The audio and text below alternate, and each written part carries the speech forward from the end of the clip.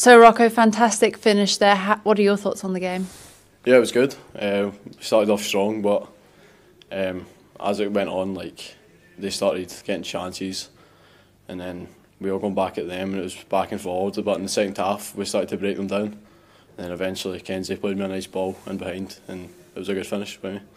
And you've been scoring quite a few goals recently. How have you been enjoying playing with the B team and in the Lowland League?